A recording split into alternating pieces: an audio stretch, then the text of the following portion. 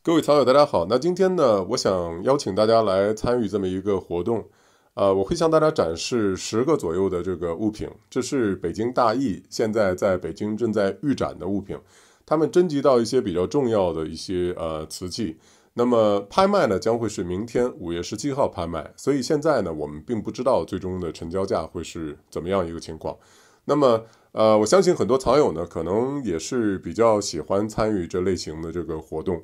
啊，有很多老师在这个圈子里呢，也确实是已经是可能有二十年以上的，甚至三十年以上的这样的经验了。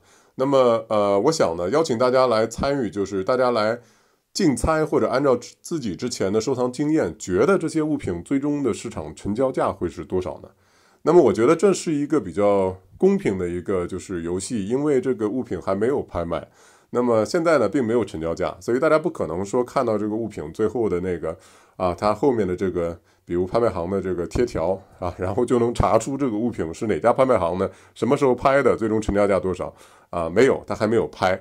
那么呢，呃，我想呢，在这里呈现十个左右的物品呢，每一个物品作为单独一个游戏，那么。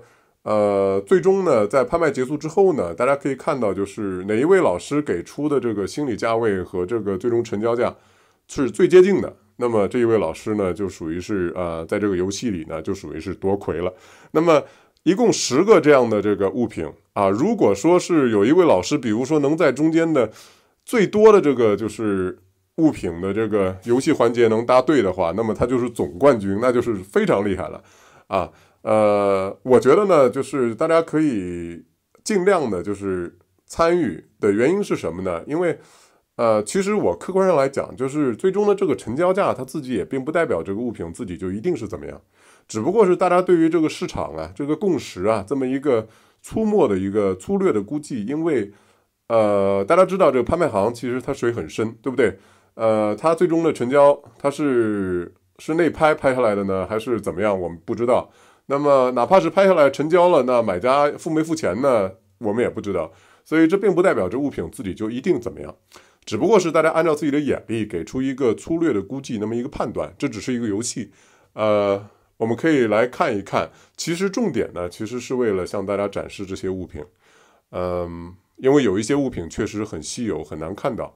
那么，大致大家给出自己的答复。啊，互相之间也可以看到别人的这个答复，我相信呢，这可能是比较有意思的事情。但这活动呢，其实只有效期只是一天，因为明天这个物品就会拍卖。北京的这个很多的拍卖行呢，他们这个预展就安排在这个拍卖之前，那么两天三天时间里，其实相对是很很短的。那么呃，一开始就是预展一开始呢，会人山人海，人很多，所以呢，我们相对而言选择今天我们去。上手有足够的机会，一个一个为大家呈现这个视频和这个照片。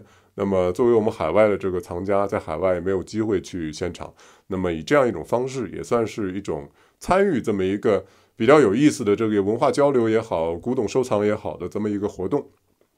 那么这里呢是给大家展示的第一件物品，大家可以看到的尺寸巨大无比啊。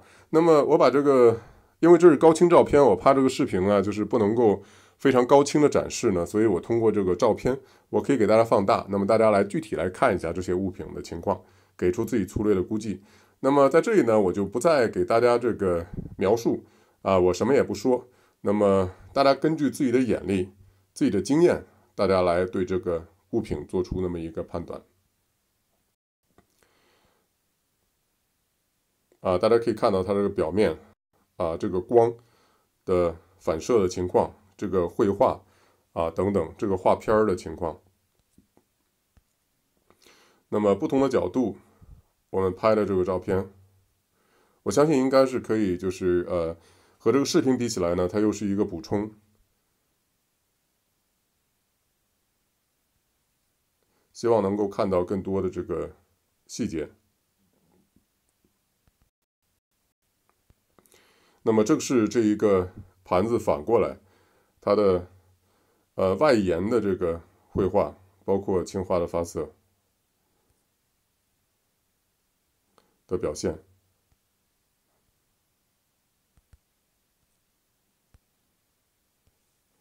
包括它的这个修足，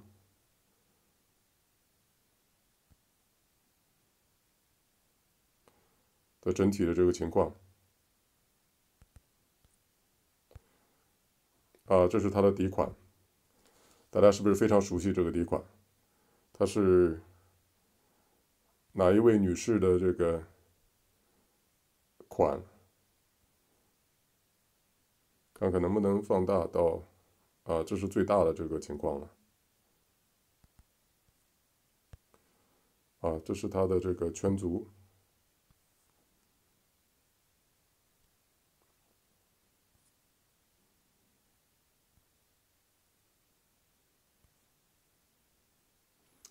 好，第一物品呢，就只能给大家展示到这里了。呃，还有视频啊，那么视频和照片综合起来，那么。大家可以，如果如果愿意参加这活动的话呢，可以给出自己的意见，啊，这完全是一种就是和大家互动的一个，呃，喜欢古董收藏的朋友之间的这么一个活动啊。无论大家给出任何答复，并不代表这个物品自己怎么样啊，也不代表真实情况怎么样，仅仅是我们的这么一个一个活动，互相的一个交流啊。非常感谢大家看这一期的节目，谢谢大家。